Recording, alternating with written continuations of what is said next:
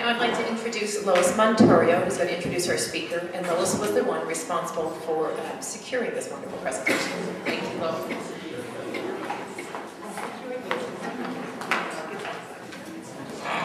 Good morning, everyone. It's really great to have such a wonderful turnout for such an important topic.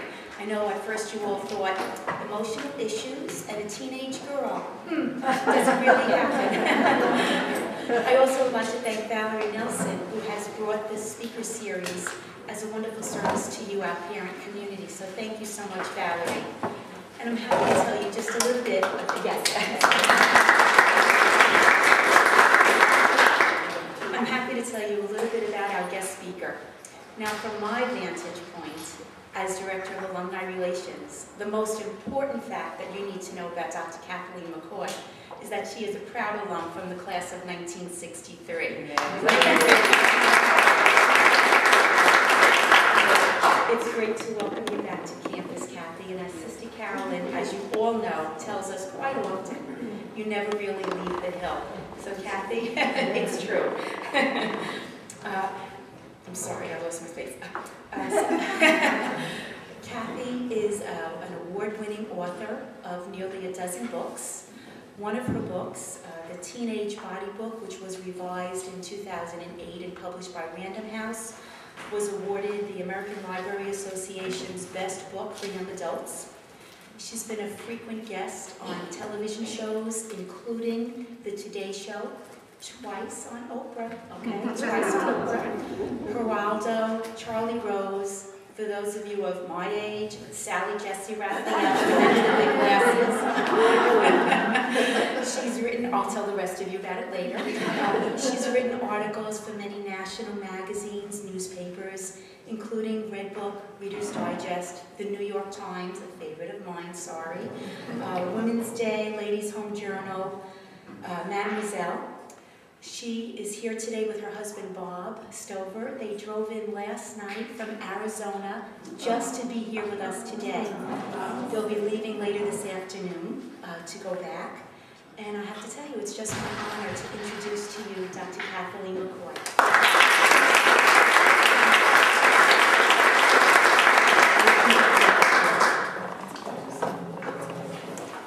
Thank you very much. That was a lovely intro. Um, and it's wonderful to be here. I am thrilled to be at a school that's so close to my heart. I had four wonderful years here, and they were really important in my own growth and development, and I've always been very grateful. And I'm also really glad to be talking with you about a subject that's very close to my heart. Uh, teenage depression is a huge problem among kids. It has been for many years. In fact, I wrote, one of my books is Understanding Your Teenager's Depression. Uh, first came out in 1982, then 1994 in a revised edition, and this is the 2005 edition uh, with special information on antidepressants. And so we'll be talking about that uh, a little bit later on. Um, just going into some statistics for a moment, and then I promise we'll make it more intimate and um, talk more about the, the family and human aspects of depression. But a recent study by the National Institutes of Mental Health found that 4.9% of the teenagers surveyed in the study uh, showed signs of a major depression. And quite often this coexisted with anxiety disorders. And I know Sister Celeste said something today about a, a young student talking about feeling such anxiety that she might be taking anti-anxiety medication. So that certainly is a very pervasive problem today. Other studies have found that 14% of young people will have an episode of major depression before their 15th birthday. Uh, a recent study uh, reported in the Wall Street Journal just last week said that uh, 8,588 children and adolescents between the ages of 10 and 19 are currently taking antidepressants. And a 2002 Brown University study found that parents often don't recognize the signs of adolescent depression. Even when the parents have good communication with their kids, Now that's scary. And it's really true. Uh, a lot of my own interest, initially at least in adolescent came about because I have a younger sister who's 10 years younger than I am, and she went through a life-changing bout of adolescent depression when she was 14 years old. She'd been an excellent student at St. Bede's. We grew up in La Cañada. And she was an A student. She was a very talented ballet dancer. She had friends. She got along with everyone in the family. She was the much adored baby of the family. And she was just an overall delightful person. And she uh, started changing her freshman year of high school. And she had the bad judgment not to come here. She decided she had enough of Catholic school and she went to La Cañada High School. And she started showing signs of just a lot of irritability and anger, and we couldn't talk to her about it. She just kind of shut everybody out. She paced a lot at night, didn't sleep, um, started not wanting to go to school, and she said it, it wasn't anything to do with school, she just didn't like to get up in the morning. And it just kept getting worse and worse. And so my parents were saying, well, you know, she's going through a lot of hormonal changes. She's 13. She's making the shift from grade school to high school.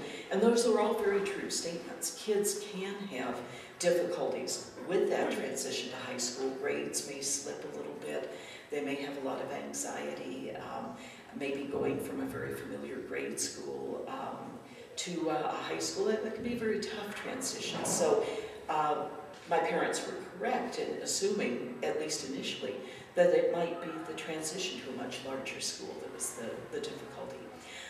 But she quit ballet lessons. Uh, she started uh, skipping school altogether. Um, she was just continually truant and ended up dropping out of school and just really talking about how she felt hopeless and she wanted to die. And at that point, I was like, oh, maybe we ought to see somebody. So uh, she started getting professional help about a year into her depression. And um, the help, you know, certainly was life-saving, but there were some consequences of her actions. She never did go back to high school. She got her GED when she was 40, after years of underemployment and two failed marriages. And at the age of 40, she had kind of an epiphany um, that she'd had a health issue that uh, made her realize this was not a dress rehearsal. She also had a young child, and she said, you know, I can't live in my car with a two-year-old. And so she got her GED, she went to community college, she went into a nursing program, she's now an RN, and she's a supervisor in charge of labor and delivery for a large hospital in Seattle, and she's doing wonderfully.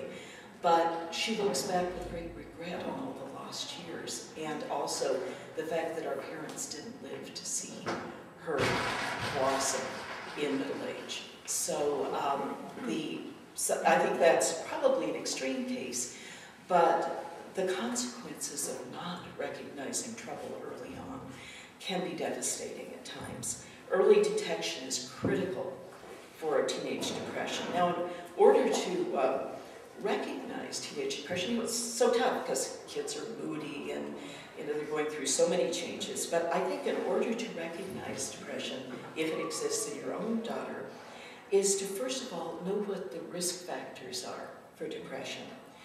To know the difference between teenage and adult depression, because they can look very different.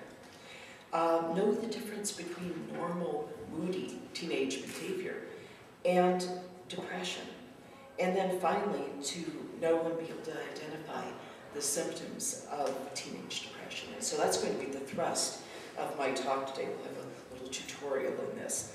Um, the risk factors for depression, there are quite a few of them. One of them is family stress, which would include also uh, parental depression. And we don't always know whether um, parental depression may be catching to live with a depressed person. In some instances, there may be a genetic component with um, bipolar, be a genetic uh, component to that. And so, um, also, um, teenagers who are growing up in a um, chaotic family situation can be depressed in a situation. I had a patient once, a 14-year-old boy, who came to me and he was obviously depressed, but he said to me when he got into therapy, you know, I don't mind being here and I think maybe this is useful for me, but you know, you want to know who's really crazy? It's my parents. And, you know, in this instance, he was absolutely right. His father was diabetic, was an out-of-control diabetic, and he had three kidney transplants, and he wouldn't take his anti-rejection medication, so he had failed transplants. His wife was totally disgusted with him, wouldn't have anything to do with him. He kept trying to commit suicide, and his son was the designated caregiver, and he was trying to keep all of this going. And while he was in therapy, his father died, and so we dealt with, you know, the fact that he did the best he could by his father. And, but in this instance, you know, it was really true. Probably one of the only instances I've seen where I think the parents really needed therapy the kid. Um, also, I think some teenagers uh, coming from families where there are high expectations can get depressed because they so fear disappointing their parents. I've seen this in therapy so much where, um, you know, obviously, I mean, we all want the best for our kids. We want them to do well at school and go to a good college and have wonderful careers and maybe more important, happy lives. And it's you know, I think all this is certainly doable, and you certainly have a giant step ahead you know, by sending your daughters to this wonderful school. But uh, sometimes kids, if they have a setback that maybe you don't think is so terrible, they may think is, is just awful because they're so afraid of not being the best, so afraid of disappointing you. And so they can get depressed or very anxious because of that. Um, also, some kids with chronic illnesses like diabetes um, or epilepsy may have some depression because they feel different from their peers. They may not be able to drive. They may, if they have epilepsy, they may need to keep to a different meal schedule or, or eat different foods than their peers eat. Also, with epilepsy, particularly temporal lobe epilepsy, interictal behavior syndrome can be a real factor in that. And depression is a huge part of interictal syndrome in temporal lobe epilepsy. And so that's something that isn't talked about a lot, but it's very important to know if you're the parent of a child with temporal.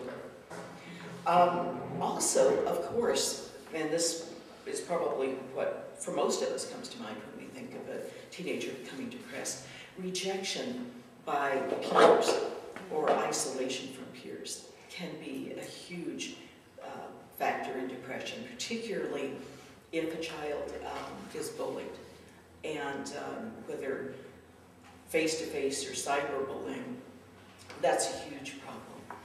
And growing up female, interestingly enough, puts girls um, much more at risk of depression. And it's often thought, but one of the factors in this might be that when a girl has a failure or a setback, she'll attribute this to a lack of ability. I can't do it. If a boy has a similar setback, they're more likely to attribute it to lack of effort.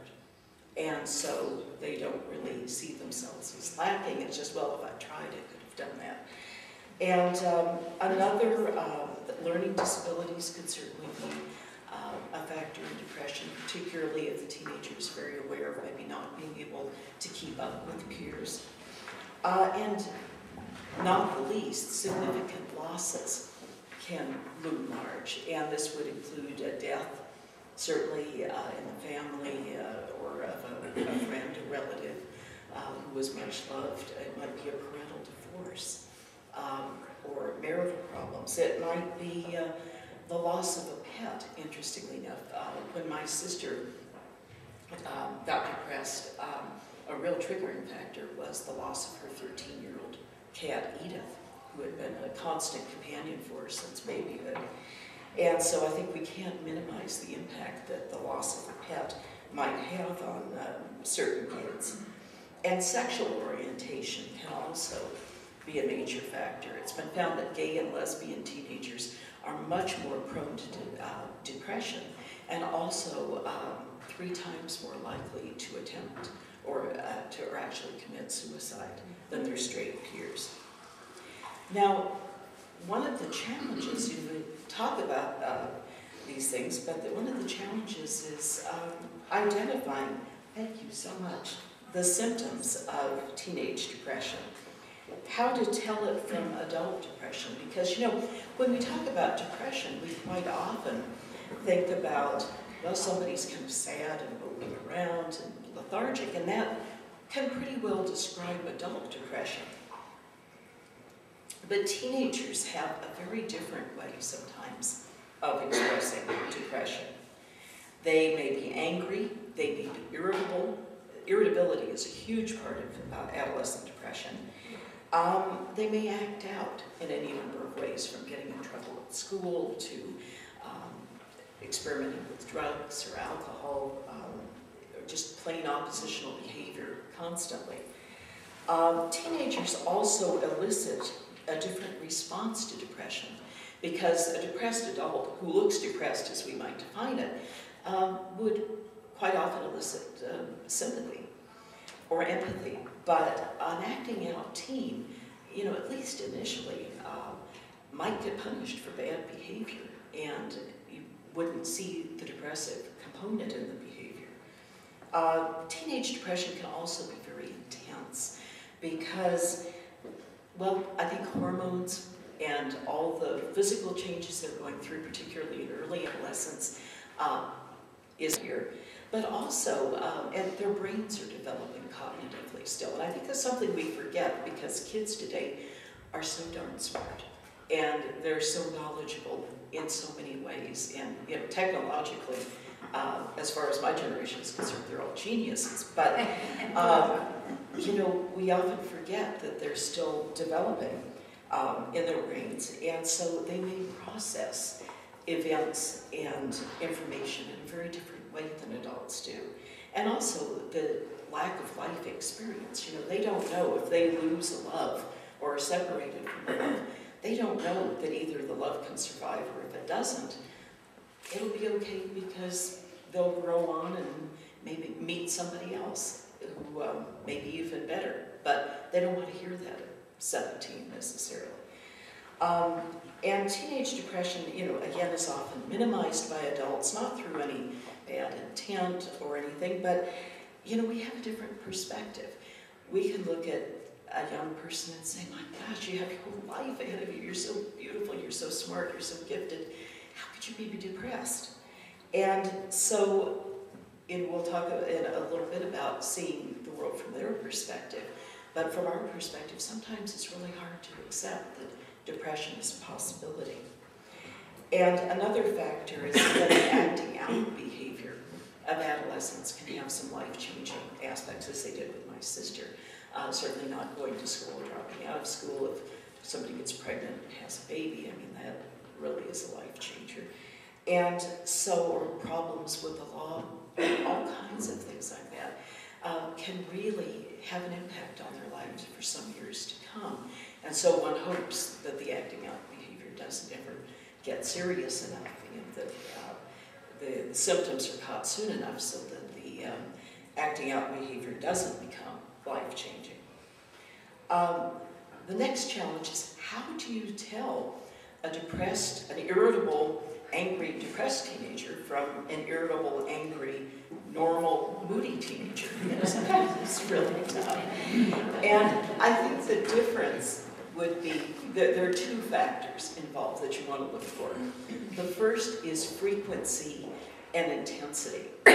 Um, you know, for average non-depressed teenager who's just going through those hormonal shifts and that angry stage is going to be angry and oppositional sometimes, and their sweet selves the other times. There are times in between where you can enjoy each other and life seems to be back to normal and then you have a conflict or you know they might have times of anger and times of wanting to walk behind you in the mall or not wanting to sit with you in the movies. That's all normal stuff. yeah, it, it's funny. I, I, wrote an article for um, Family Circle some years ago called When You Get when others get the best and you get the worst of your teenager. I talked to some parents uh, before and saying that, uh, you know, everybody's saying your daughter is so wonderful.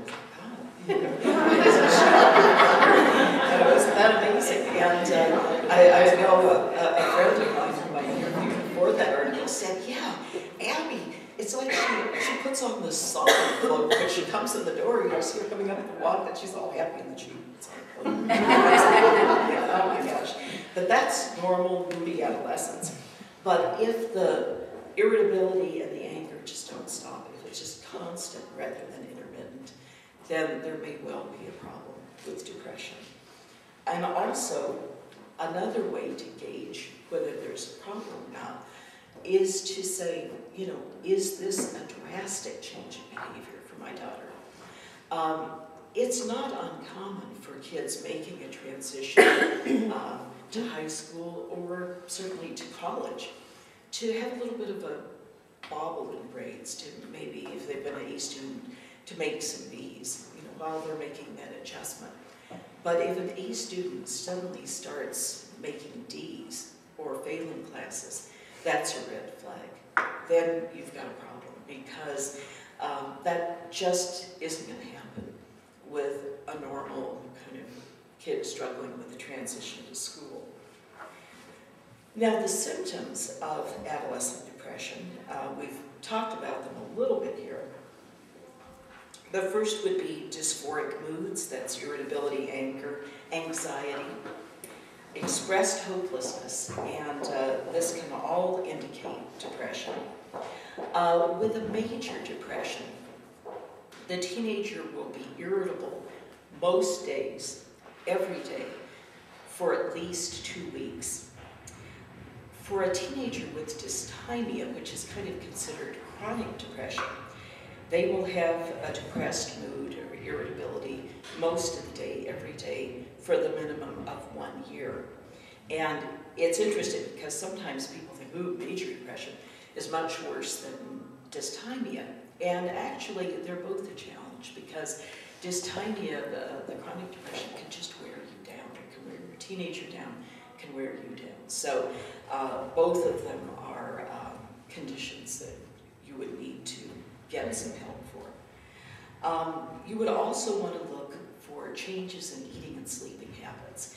If your teenager is eating a lot less, has lost interest in food, uh, or is starting to overeat compulsively um, and gaining weight, that can be a red flag for depression. Also, insomnia, uncharacteristic early awakening, um, sleeping all day and staying up all night. Those are all possible symptoms of depression. Social isolation is a red flag. You know, their friends are so important to them, and if they start withdrawing from their friends, they may have periods of withdrawing from family, and a little withdrawal from the family is, is part of the teenage agenda. But um, if they're very withdrawn from you, if they're also starting to withdraw from their friends, then that's a sign of trouble. We talked about acting out behavior. You know, might even include, you know, problems at school, but also things like shoplifting. They might have an episode of that, that which would be very uncharacteristic.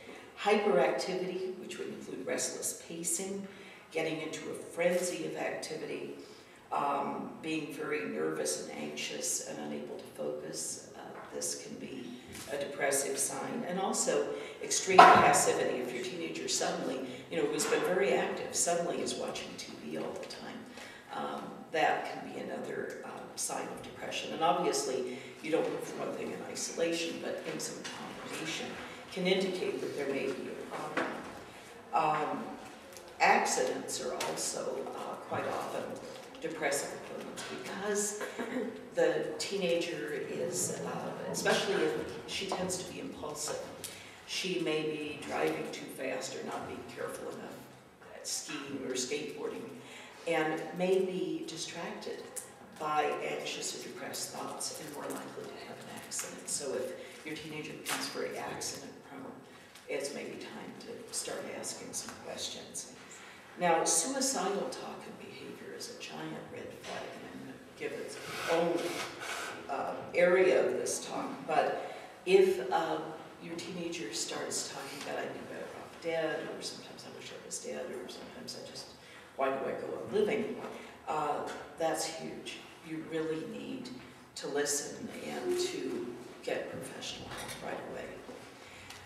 Now, helping your depressed teen, and we're putting aside the suicidal depressed teenager. Um, I think it's important, first of all, to communicate your observations, to say, I, I see you feeling so irritable all the time, or you seem to be unhappy at school, or you just don't seem to be sleeping well, and I'm very concerned, I want to help, and we're in this together. Let's talk about this. Um, I think it's important to listen carefully to what your teenager says without trying to talk them out of it or uh, offering your own judgment or opinion uh, immediately, but just to, to let them talk or encourage them to talk. And sometimes that face-to-face, and you probably are 10 steps ahead of me on this, but the face-to-face doesn't always work. You know, sometimes say, let's take a walk, and take a walk with them, and they're not looking at you, and they can talk. It also works very well in a car. And uh, I remember one time with my stepdaughter, uh, when she was about 13, we uh, drove to the mall and we started talking in the car. We, we never made it into the mall. We just kept talking, but she wouldn't necessarily want to talk to me face to face if I said, um, let's talk. It was like, oh, I don't want to go there. But if it was while doing something else, she felt more comfortable about that. And that might be a way, particularly if your teenager is angry or um, seems irritable, uh, have that irritable depression, that might be a way to start the ball rolling conversationally. Also, empathize with your team. Try to see the world from her perspective.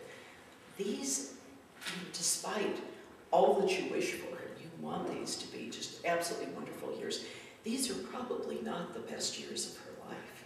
And, you know, think back on your own high school experience. Were they the best years of your life, really? Um, you know, when you think back on all the insecurities and the hormonal changes and the social challenges and everything, uh, I think while many of us have good memories of high school, we also have memories of, you know, maybe things that weren't so comfortable. And so also, and, and knowing that, you know, when you lose a first love, it just feels like a disaster. And um, there's a tendency to, you know, think, oh, well, thank God, well, you know, didn't like him anyway. Good riddance. But, you know, for her, this is huge. It was her first love, and she thinks she will never love him like the same way again. And so seeing things from her perspective uh, can really help the communication uh, go forward. Also, um, I think it's important, and you're probably doing this already, but I just want to reinforce it with you, that uh, helping your daughter develop essential skills, like saying no. And it's not just no to drugs or no to sex too soon or things like that, although it certainly can include that, but no to peers who want to engage in behavior she's not comfortable with. And no to maybe getting overextended with activities. You know, that can be a huge anxiety producer with kids. Um, you know, they're already so committed and so busy, and um, they need to be able to say no to putting too much on their plate. And so you can help them very much like that, maybe role play with them. Help them to say no to friends in a, a kind and loving way. And also, uh, I think it's important if your teenager is going through a rough time to praise their efforts at resolving their crisis, not just the results, but the effort. And communicate love and caring in, in spoken words and little notes you may leave in their room or put under the door, uh, or with a hug if you can get away with it. You know, in therapy, we find that some of the breakthroughs come not when people confront each other about things. The, the tears and the breakthroughs come in family therapy when they start to express love to each other. It's really interesting to see how the mood room changes. And so expressing love, even when your teenager is acting a bit unlovable at the moment, can really help. And I think the, the guideline is to help as much as you can and then be open to help from other people. And an excellent first resource would be your teen's physician. And unless the teen is suicidal, but if the teenager is just showing some signs that kind of have you uneasy, think he or she may be depressed, um, make a doctor's appointment. Some medical conditions like um, mononucleosis or anemia that might be caused by a bad diet, uh, or as I mentioned, temporal lobe epilepsy, can have depressive components. So I think it's important to rule out any physical problems that may be present, that may be causing or contributing to the depression. And uh, so I think you know the physician can certainly help with that. And many physicians uh, who are pediatricians who are used to uh, dealing with teenagers or pediatricians who are either internists or um, uh, pediatricians who have special training in adolescent medicine often do a checklist with kids. You might have a private session with them, do a checklist, and just see how they're functioning in all areas of their lives and whether mental health help might be indicated. And um, so, and we'll talk about making the best use of mental health in a minute, but I wanted to backtrack a little bit to if you have a teenager who has expressed suicidal thoughts or uh, plans, uh, it's very important to take these seriously. You know, it's if somebody says, "Oh, I wish I was dead," you might think the first words that might come to mind be drama queen. And you know, that's, a, that's an understandable thing, and you know, one hears a lot of things, and you think, okay, okay. But you know, if suicide is starting to be a theme, uh, it's important to pay attention. Suicide is the third leading cause of death between the ages of 16 and 24. And while white males are most likely to attempt uh, to succeed at suicide, white females are most likely to attempt. And um, many of the suicidal teenagers have had a severe depression, um, but the biggest danger for a suicide attempt is not while they're in the pit of a severe depression, but when they start to lift themselves out, when their mood improves a little bit. Because if you're in the pit, you just don't have the energy to do anything, including kill yourself. But when you start to feel a little better and your energy returns, you're still feeling really bad. But now you have the energy to maybe make that happen. So it's important to really be aware of that. Um, teenagers who are more likely to commit suicide or attempt suicide uh, are likely to be impulsive and to feel uh, isolated from their peers, thus the higher incidence of gay and lesbian uh, teenagers uh, being suicidal. And also, they're much more likely to have a substance abuse problem. A study at the University of Pittsburgh found that the, teen, uh, that the teens who commit suicide uh, tend to be about 10 times more likely to be drunk or on drugs at the time of the suicide. So major warnings of suicide, again, would be severe depression with sudden lift in mood, substance abuse, expressing feelings of helplessness, hopelessness, and total futility, um, withdrawing from family and friends, and then giving away prized possessions is a big red flag. And talking about suicide or death as a release. Um, you know, there's this, this frequent conviction that those who talk about suicide don't do it, and that's not right. I think that many times there have been signs, and they talk, they talk about it, and they might not talk to you, they might talk to their friends, and that's why those of us in mental health are so wanting to speak in schools and educate students that sometimes the most loving thing you can do for a friend is to tell somebody, tell a teacher, tell a school counselor, tell somebody who's an adult who can do something to help. Because many times they don't want to uh, rat out their friends. But in this case, um, this is a time when you do have to say something. Certainly, therapists and teachers are, are mandated to um, break confidentiality in the case of uh, if somebody is a danger to herself or himself. Uh, I think with, uh, if your teenager is showing signs of a possible suicidal crisis, A, take this seriously, and then B, go directly to a mental health professional. Don't do the doctor's visit first. You might get a referral from your doctor, but go directly to a mental health professional or call the suicide prevention hotline and get a referral. Uh, suicidal teens don't do well with multiple layers of referrals, you know, because they feel like if they go to one person and we refer them to another, it's like, oh, nobody can help me, this really is hopeless. Um, so know also that, so get them to the first available qualified mental health professional. We'll talk about that in a minute. And also know that hospitalization may be necessary if it's deemed that your teenager is definitely a danger to herself. In general, um, and this would be, uh, you know, uh, general comments about professional help, and this would apply to not only suicidal teenagers, but um, depressed, generally depressed teenagers as well. Um, a good therapist, how do you find a good therapist? Um, a good therapist will listen well, a good therapist does not take sides. They try to empower the communication between you and your teenager if you're getting family therapy. Uh, a good therapist is professional, caring, non-judgmental. And also, a good therapist is conservative in terms of uh, the predicting the outcome of therapy because there's so many variables, including the motivation of the people in therapy. So if you come across somebody who said, bring your teenager to me, I will fix them in three sessions, run.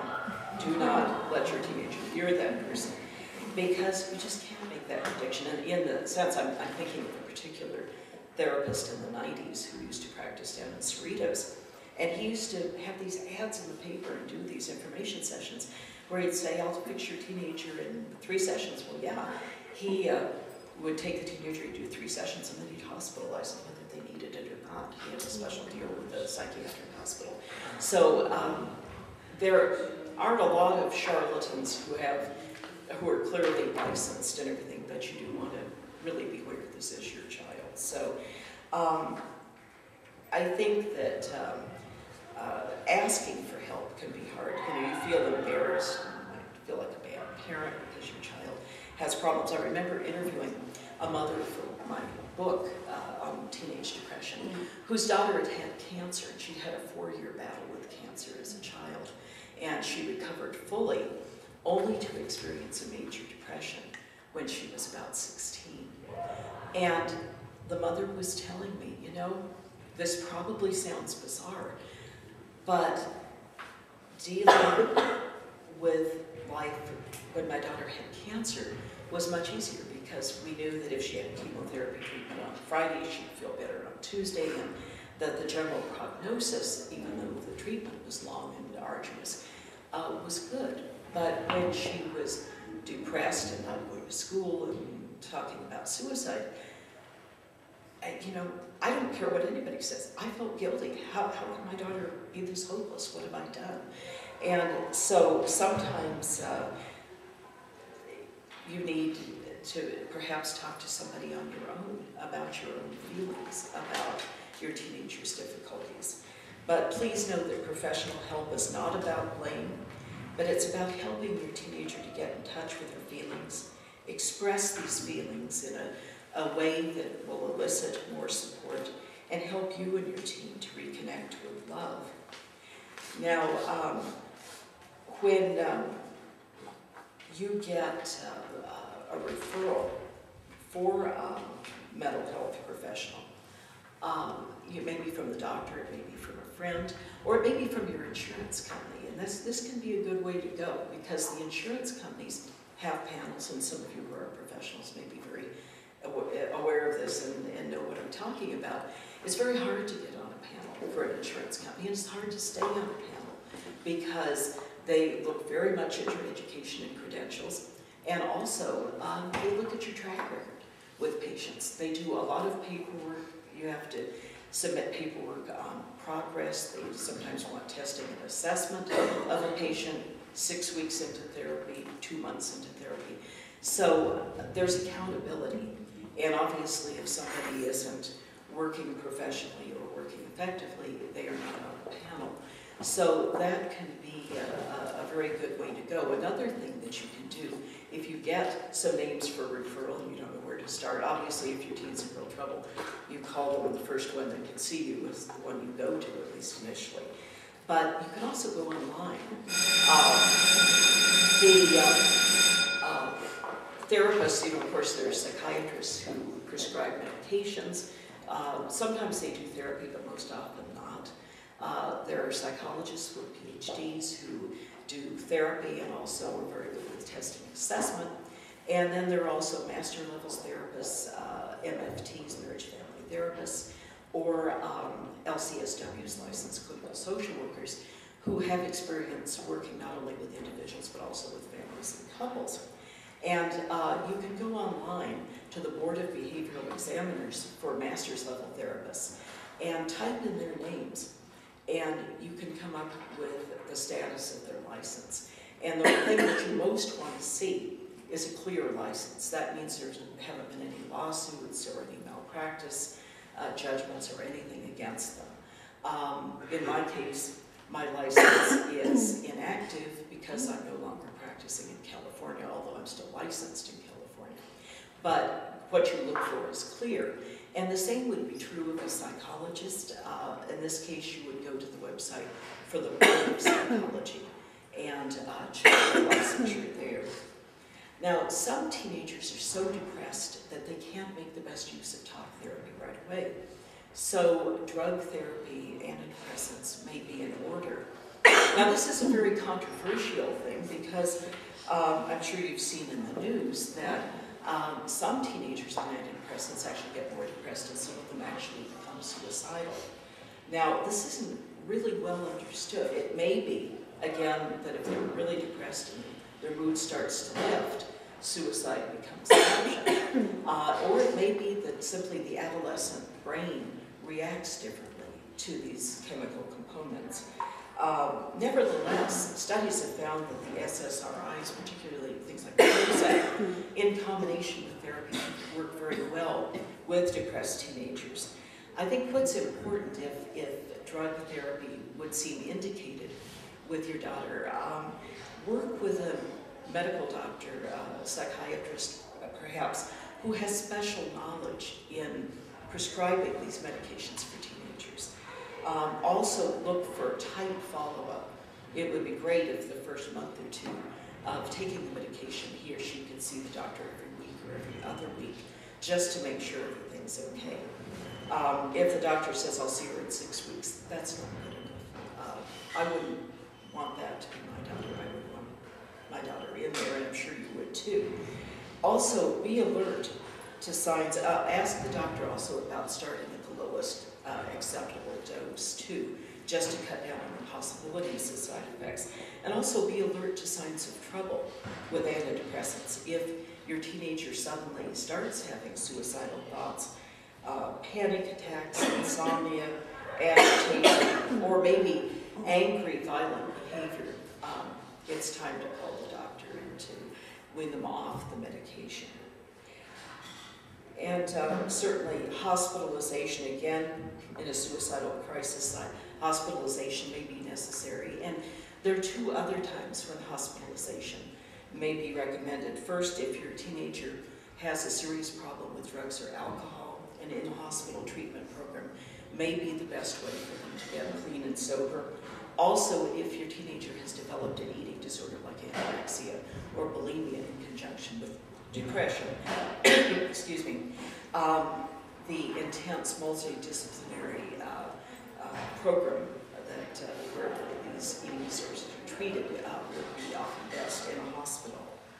Uh, now, making the best use, we're getting in the homeward stretch here, uh, making the best use of professional help, except in a suicidal emergency. I talked about taking your teenager to a doctor. And a teenager may be able to hear a recommendation for mental health help better from a doctor, particularly a familiar, trusted doctor, than from you or someone else. Uh, present therapy to your teenager as an opportunity, not as punishment. And show that you're willing to participate, either directly with family therapy or by your willingness to make changes at home that further the goals of therapy. That's one of the biggest challenges as a therapist in working with teenagers because you can work and work with the teenager, but sometimes things don't change at home. It's, it can be very frustrating. Insist that your teenager at least try therapy and give it a fair try. Do know that it's not a quick fix, that, you know, it's not going to be a Woody Allen thing with five sessions a day for 20 years, but it may be some uh, weeks or months. Um, also, approach therapy with realistic expectations. Set some intermediate goals in your own light for your teenager. And uh, again, praise the effort. And again, if you feel the necessity to go to therapy yourself, either as family therapy or individually to deal with your feelings about this, that can really be a help. So in conclusion, please know that you're not alone, that there is hope and there is help for you and your team to find new ways to reach out to each other and to connect with each other and share all the challenges and joys that life together brings. Thank you very much, and I welcome any questions you might have.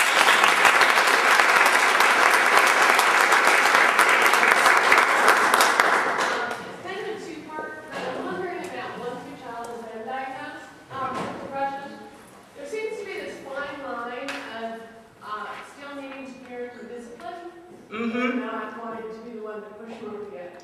Yes, a, That's an excellent question, and I, I know exactly, you, you don't want to, uh, and this could be true of any illness, you know, sometimes a child has a physical illness, uh, there's a tendency to um, not want to discipline in, in the way that you would, but I think it's important to keep the same limits that you've always had, to have certain expectations of them, um, to not just say, well, they're depressed, so I'm not going to uh, give any discipline. I think sometimes it can be very reassuring for teenagers to have those limits put. You know, like we're we're trying to work with this, we're trying to help, we, we want very much for you to feel better. However, you know, you do need to be home at a certain hour, you do need to um, treat your brothers and sisters with courtesy. You know, it, it, it's it can happen in a, a physical illness as well as depression that if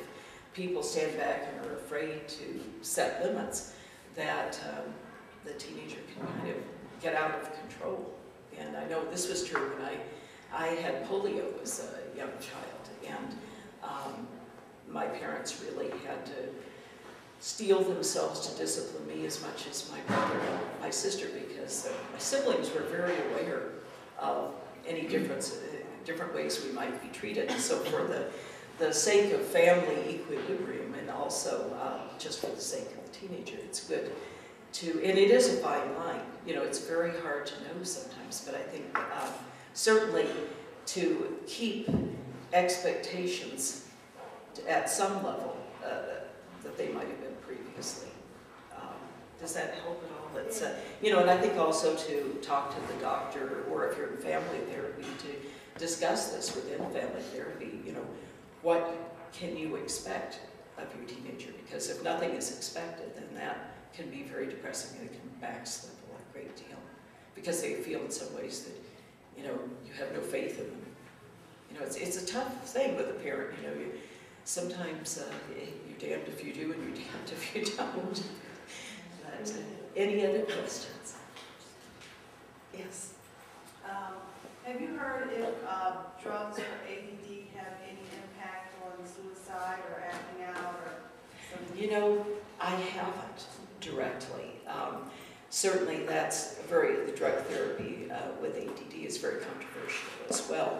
And um, they can certainly, there can be um, certainly an acting out component with that. Uh, I don't know if they may add, I haven't seen anything in the literature to indicate that that's been uh, a problem with suicidal behavior or uh, thought. But certainly, I think any kind of medication um, should be carefully monitored with, uh, with kids. Any other questions? Yes. I have a comment. Um, our family right now is witnessing the death of a 20-year-old at a party who died from, we're not really sure, but probably OD. Um, and you touched on having friends tell adults if they see their friends in danger.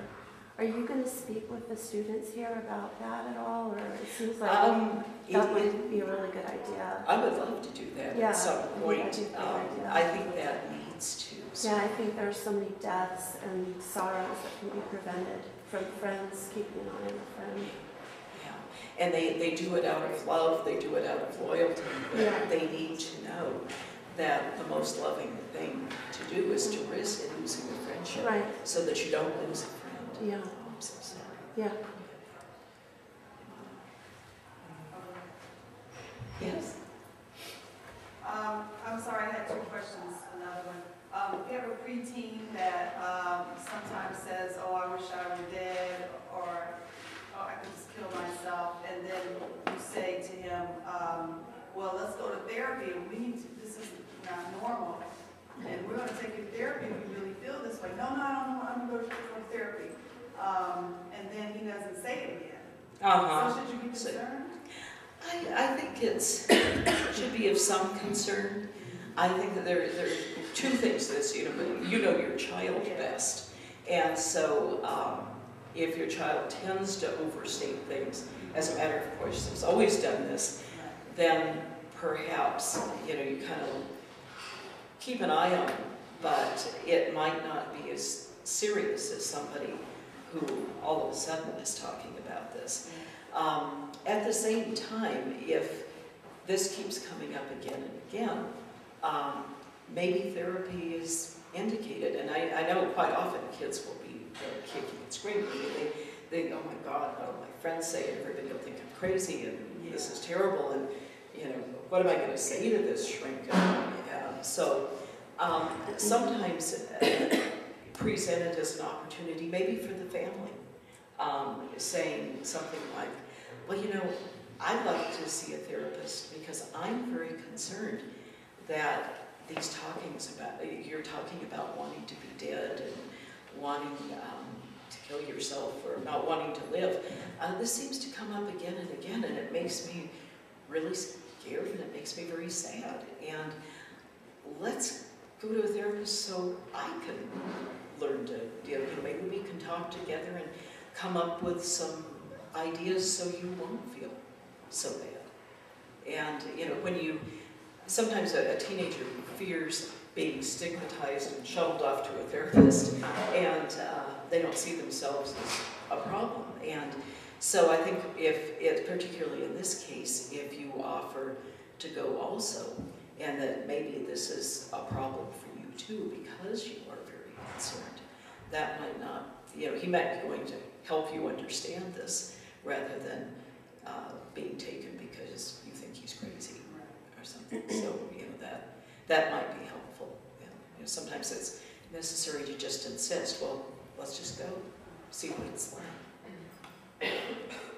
Yes? You spoke about the, um, the difference between just a normal moody teenager and a teenager who's depressed. What about a teenager who, with certain people, is always, but with, at home, is pretty much, I mean, can a child who is depressed Uh-huh. turn that on, turn on, you know, A child who's depressed, seriously depressed, really can't turn it on and off as easily. They may be a little more up with their friends, but it's much more likely that because the depression really takes over in some ways as a, chemical reaction in the brain, uh, not always a, a reaction to an event, um, it's very hard to turn off, on and off, particularly when it gets to a certain point. Um, the surliness that uh, parents see quite often as part of the normal moody adolescence. You know, again, when others get the best and you get the worst of your So um, it would, you know, something to uh, pay attention to certainly, um, and maybe address with your teenager if that's possible. But if it seems that, you know, with you, the surliness, the, the irritability is unrelenting, then it might be worth checking out, certainly. Yes? With regard to uh, performance anxiety and uh, fear of disappointing their parents, is there a way other than um, talking about some perspective and giving just, I, I think it's so hard for them to see future that, you know, you know, that, that A that they didn't get on this exam won't affect them next week or even next year. But is there some other way to give a, some perspective with regard to that to bring down that anxiety? Oh, I think that's such a good question. And I think that, um, you know, just expressing love, no matter what the outcome, and saying that um, you're proud of him or her, you're proud of the effort that they put into it. You know, you worked so hard on it. I know you did. You were so dedicated. Rather than, uh, you know, if a person comes in second or third, or doesn't place in some kind of competition and is used to doing that. Or maybe they don't get into the first choice of college, but they uh, get into the second.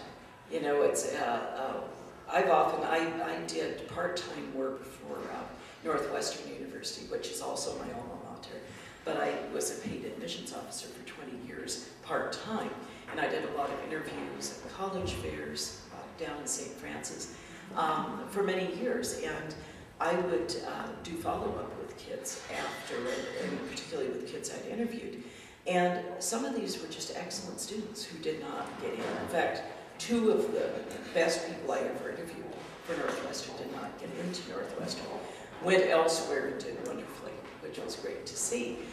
But, you know, I think it's so good for kids to know that your love and your good regard for them does not hinge on them achieving a certain thing, getting into a certain college. Um, you know, sometimes there's, a, we can do a, a thing in therapy where, you know, somebody said, oh, if I, if I don't ace this test, I mean, that's just it. And if they, what's it? What's going to happen? You know, let's, let's think about this reasonably. What will life be like if this doesn't happen, you know? life can take some twists and turns, and it, you're right, absolutely right, that it's very hard for them to see beyond today and beyond this year, and to know that a setback or disappointment now may actually be a very positive thing. And so, you know, it's, it's tough, but I think to help them feel valued in so many ways, um, and to, you know, notice self-criticism. For example, if they feel, you know, I'm either number one or nothing, uh, to find ways to um, reinforce their, their value as human beings completely apart from what they achieve academically or in sports. And that's, that's a challenge. That's huge. May I follow up? Sure. I- I'm experiencing that the, the anxiety um, uh, has, has been brought on by perfectionism. I, I don't know how they relate to each other, but, but I'm certain that, Mhm. one feeds the other. Oh, yeah. Um, and so what I've seen is, and I even encourage this, that, I mean, there was a point where the room had to be immaculate before any study could take place. And I even encouraged her, okay, you know what, for two weeks, I don't want you to pick anything up. And months later, now what I'm seeing is complete chaos. So, um, there was a comment in, in inquiring about this, there was a comment which she responded, she said, well, that is, uh, your environment is a reflection of what's going on in your head. So, and, and I know that, I know that in her head, there's, there is this incredible amount of anxiety going on, and so she feels she cannot even control her environment, or doesn't want to. So even, I mean, there's lots of discussion, there's lots of communication going on. And, and so my question is, I mean, when that, that, that perspective is being given, but it's not being received, or she can't, she can't grasp it, and she can't uh, rationalize it, Mhm. what, what that Possibly things that I've seen patients like this, and what um, we can often do is even something physical, like you know, working with her on um, st- stress in uh, dealing with stress, like the deep breathing. You know, when you start to feel this rise, or, or get her into yoga or you know, meditation, And, Thank you for saying that, because, because I am, I'm going down that road now. Thinking Uh-huh. We do yoga together, meditation, breathing exercises, and, yeah, okay. and that can, over time, can help a great deal. And those are tools that she can take with her throughout life. And it doesn't demand any perspective beyond the here and now. And I think when she can, you know, get the, the relaxation thing going and to, um, it, there, quite often I would, in therapy, with very anxious patients, and I have people anxiety, would sometimes make tapes for them with guided imagery and things like that. Some people laugh at that as terribly new agey, and I am probably one of the least new agey people you would ever find, but I truly believe in the value of those things. I've seen them work with patients a great deal, and uh, especially perfectionists. Boy, that's tough. That's a very tough thing to deal with. Thank you. Sounds like you have a wonderful daughter, but I I truly understand. We have time for one more question. Yes. I, I just want to say as a parent, sometimes it's, it's easy to go into denial and say, it's not really, it's not that bad. Yes. And, I had to have a doctor say, if I don't put her on medication right now, Yes. I would be irresponsible, so I hate when this happened. But anyway, I just, it's just really important to, to, um, to listen because these, they're little things sometimes. And sometimes they like to work in chaos. And sometimes they need help to keep that order. You know, sometimes they just get her to get in order because she says, oh, I like it like this. Mm-hmm. But I, I feel better if it's a little more neat, and I know I, I can work in chaos, but I also feel much better when I've had the house all straightened out. Mm-hmm. So it's just teaching them, and it's hard to be objective because us parents, you know, go through our own traumas. Oh, absolutely. And I had surgery, so you know that was an impact. So I do think it's important to just listen. And Sister Celeste is always saying to eat with them and say you love them. And she thinks we don't hear that, but you know, it, it reminds me because she really responds when I just pat her on the back and say you're doing a good job. Because the other side is like, oh my God, did you do your history? Are you finished with your algebra? You know, because the anxiety of our anxiety to have them Yes. succeed.